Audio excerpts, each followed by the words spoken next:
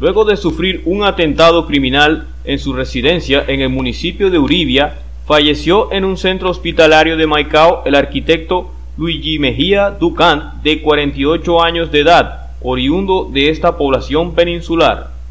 Según el relato de testigos, el hecho sicarial ocurrió aproximadamente a las 8.30 de la noche del martes, cuando Mejía Ducán se encontraba en su vivienda en compañía de su esposa, y unos sujetos a bordo de una motocicleta llegaron hasta el lugar y le dispararon con arma de fuego en repetidas ocasiones.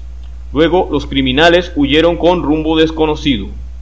Vecinos del sector dieron aviso a sus familiares, quienes lo trasladaron al hospital Nuestra Señora del Perpetuo Socorro de Uribia, y debido a la gravedad de los impactos recibidos, fue remitido a un centro de mayor complejidad en el municipio fronterizo de Maicao, donde falleció en la madrugada del miércoles. Por su parte, las fuerzas de seguridad del Estado iniciaron las investigaciones para dar con los responsables de este nuevo hecho sicarial que enluta a la familia Mejía Ducán en la capital indígena de Colombia.